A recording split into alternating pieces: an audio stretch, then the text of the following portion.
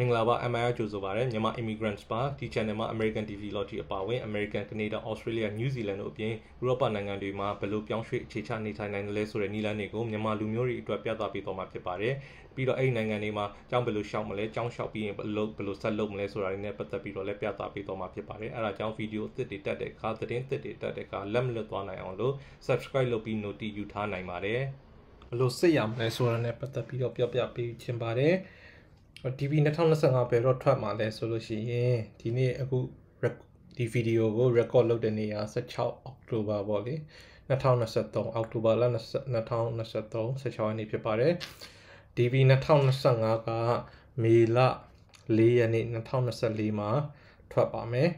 เนาะစပြီးတော့2024မှာထွက်ပါမယ်ပြီးလို့ရှိရင် interview တွေကအောက်နိုဝင်ဘာ ဒီဇင်ဘာကနေစပြီးတော့နောက်နှစ်နောက်နှစ်เนาะစက်တင်ဘာထိ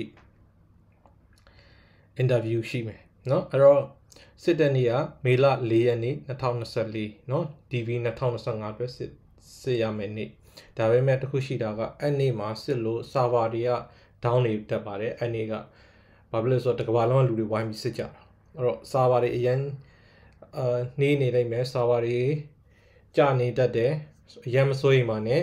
တပတ်လောက်ဖြစ်ဖြစ်စောင့်ပြီးတော့စစ်လဲဘာမှမဖြစ်ပါဘူးเนาะတပတ်လောက်กว่าတာဘာမှမဖြစ်ဘူးအဲ့တော့စောစောစစ်လို့ရရင်လည်းစစ်အနည်းထွက်ထွက်ချင်းမှာစစ်လို့ရတယ်ကိုစစ်တဲ့အချိန်မှာပြဿနာသိမ့်မရှိဘူးဆိုလို့ရှိရင်စစ်လိုက်ဘာမှမဖြစ်ဘူးဒါမှမဟုတ်နေနေတယ်ဆိုလို့ရှိရင်လည်းနောက်နေ့နော်3-5ရက်စောင့်ပြီးစစ်ဘာမှမဖြစ်ပါအဲ့တော့ဒီ DV စစ်တဲ့နေရာမှာ အစိုးရ website DV တင်တဲ့နေရာ website ကပဲသွားစစ်ရပါတယ် dvprogram.state.gov ဒီကပဲစစ်ရပါတယ်တခြားဘယ်နေရာမှာကမှစစ်လို့မရပါဘူးเนาะတခြား website တွေမှာသွားစစ်မိပြီးတော့ပောက်ပါတယ်ဆိုပြီးတော့ပတ်စံညာတောင်းခံရတာမျိုးတွေအများကြီးရှိပါတယ်အဲ့တော့သတိထားပါဒီ website ကပဲလာပြီးတော့စစ်ရတာပါအဲ့တော့ဒီ website ကိုဖွင့်ပါပြီးလို့ရင်အောက်မှာ check status ဆိုတာရှိပါတယ်။နော်ဒါကတော့ဖုန်းမှာ ဆိုလို့ရှိရင်ဒီလိုမျိုးလေးပေါ်မှာပေါ့လေ။နော်ဖုန်းမှာဆိုလို့ရှိရင်တော့အောက်ကိုနော် begin entry ဆိုပြီးတော့ begin entry မဟုတ်ဘူး check status ဆိုပြီးတော့အောက်မှာနှိပ်လို့ရတယ်နော်ဖုန်းမှာဆိုလို့ရှိရင် check status ဆိုပြီးနှိပ်လို့ရတယ်နော်ဒီကွန်ပျူတာစစ်မယ်ဆိုလဲ check status ဆိုပြီးနှိပ်လို့ရတယ်ပြီးလို့ရှိရင်နော်ဒီ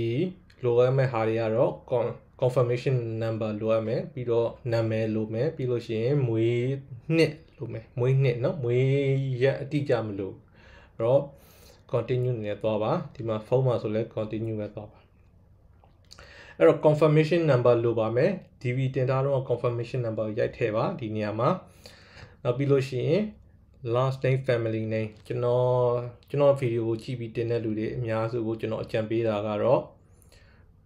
မြန်မာနာမည်တွေက last name family name ဆိုပြီးတော့ဒီမရှိဘူးမိသားစုနာမည်မရှိဘူးကိုယ်နာမည်တစ်မျိုးတည်းရှိတယ်အဲဒါကြောင့်အဲ့နာမည်ကိုရိုက်ထည့်ပါရိုက်ထည့်ပါပြီးလို့ရှိရင်မွေးနေ့ရိုက်ပါနော် authentication ဆိုတော့ authentication code ရိုက်ထည့်ပါနော်ဖုန်းမှာကောဒီ computer browser မှာအတူတူပဲဖြစ်ပါတယ်နော်ရိုက်ထည့်ပါရိုက်ထည့်ပြီးလို့ရှိရင်နော် ဒါမျိုးလေးကြာလာတယ်ဆိုရင်တော့ဒါတော့မပေါက်ဘူးပေါ့လေเนาะ has not been selected based on the information provided เนาะ has not been selected ဆိုရင်တော့ဒါတော့မပေါက်ဘူးနောက်နှစ်မှထပ်ကြိုးစားเนาะနောက်နှစ်မှထပ်ကြိုးစားပေါ့လေဒါမှမဟုတ်ပဲねဒီလိုမျိုးလေးเนาะစအရှိကြီးပဲဆိုလို့ရှိရင်တော့ဒါပေါက်တယ်ပေါ့เนาะသိတာတယ်เนาะစအရှိကြီးပဲပေါက်တယ်ပေါက်ပြီဆိုလို့ရှိရင်အဓိကအရေးကြီးတာဒီ case number ဘယ်သူမှတော့ရှောက်ပြီးတော့မပြောနဲ့ဘူးเนาะ case number ရှိတယ်ဒီ case number ကကို interview ဘယ်တော့ရမလဲဆိုတာ မူတည်သေးတယ်အဲ့ဒီ case number အကြီးအသေးပေါ်မူတည်ပြီးတော့လေ DV ရနိုင်တယ်မရနိုင်ဘူးဆိုတာလည်းရှိသေးတယ်เนาะတချို့တွေကကျတော့ case number စောလို့ရှိရင်ကျတော့ကောင်းတယ် case number တိတ်များတယ်နောက်ပိုင်း3000လို့4000လို့ဆိုလို့ရှိရင်အဲ့ဒါเนาะ DV ရပေါက်ပြီးတော့မှကိုယ်အလှည့်မရောက်တာမျိုးဖြစ်တတ်တယ်ဒါတချို့နှစ်တွေမှာရှိတယ်နှစ်တိုင်းတော့မဟုတ်ဘူးတချို့နှစ်တွေမှာဒီ case number အကုန်လုံးက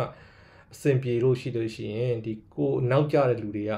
မပါသွားတတ်ဘူးဒါမျိုးရှိတယ်အဲ့ဒါလေးတော့သတိထားပါပြီးလို့ရှိရင်ဒီမှာ principal applicant name ဒါတော့လူပြိုအပြိုတွေဆိုလို့ရှိရင်တော့ကိုယ်နာမည်ပဲ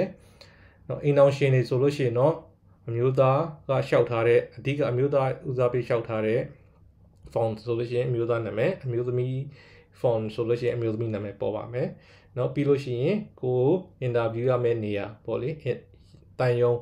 မြန်မာဘာမာရန်ကုန်ပေါ့နော်မြန်မာပြည်ကလူတွေဆိုရင်တော့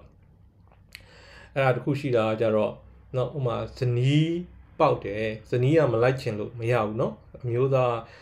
ဇနီးကပေါက်လို့ရှိရင်ဇနီးကသွားဖို့သွားရမယ်အဲ့ဒီသူနဲ့မိသားစုဝင်နေအကုန်လုံးမှာအမျိုးသားကအမှန်တော့အမျိုးသားအဓိကအလုပ်လုပ်မှာဒါပေမဲ့ဇနီးပေါက်သွားတယ်ဆိုလို့ရှိရင်ဇနီးက